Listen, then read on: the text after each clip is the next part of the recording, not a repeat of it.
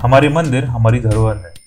भारत देश में कई मंदिर ऐसे हैं जिनके बारे में हमें जानना चाहिए कि कैसे उस समय भी मार्वलस आर्किटेक्चर बन पाते थे। स्वागत है आपका कथा संगम में। अगर आपने चैनल को सब्सक्राइब नहीं किया है तो कर लीजिए और बेल आइकन दबाना ना भूलें ताकि आपको नोटिफिकेशन मिल सके। आज हम आपको ले चलते हैं एक ऐसे मंदिर में जिसका आर्किटेक्चर देखते ही आप सोचने लगेंगे कि यह कैसे बनाया गया होगा। क्योंकि आज की मॉडर्न टेक्नोलॉजी में ऐसे किसी मंदिर को बनाने की कल्पना की जा सकती है। आज हमारे पास क्रेन्स हैं रोबोटिक मशीन्स हैं ग्राइंडिंग ड्रिलिंग और मिक्सिंग करने के लिए इक्विपमेंट्स हैं। पर उस समय इस मंदिर को कैसे बनाया गया होगा, आइए जानते हैं। पर उससे पहले समझते हैं कि इस मंदिर की संरचना के बारे में और इस मंदिर का निर्माण कब और किसने कराया था। बृहदेश्वर मंदिर द्रविडियन आर्किटेक्चर का एक बेमिसाल उदाहरण है, जो तंजवुर तमिलनाडु में स्थित है।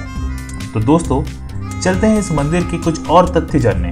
यह मंदिर भगवान शिव को समर्पित है और लगभग हज़ार साल पुराना है और इस मंदिर की हाइट 216 फीट है। इस मंदिर को बनाने में एक लाख तीस हज़ार टन ग्रेनाइट पत्थर का इस्तेमाल किया गया था।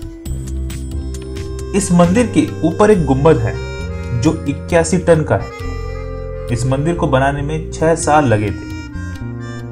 और इस मंदिर का निर्माण राजा राजा चोला फ़र्स्ट ने कराया था। यह मंदिर जहाँ है, वहाँ से 60 किलोमीटर रेडियस में ना तो कोई चट्टाने हैं और ना तो कोई पहाड़।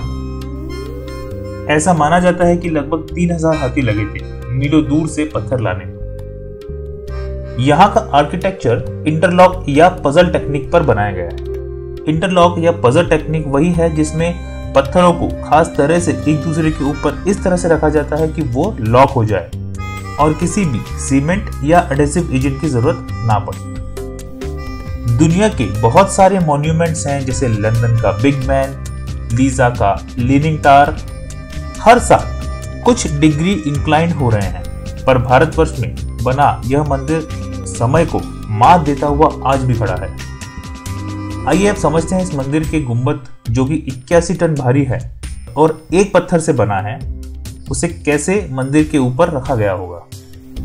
लोकल गाइड के अनुसार मंदिर में गुंबद तक 6 किलोमीटर तक का एक रैंप तैयार किया गया था। हाथी, घोड़ों, बैल और मजदूरों ने मिलकर इस पत्थर को ऊपर तक पहुँचाया। यहाँ की एक और चीज़ आपको हैरान कर देगी, वो है नंदी की प्रतिमा।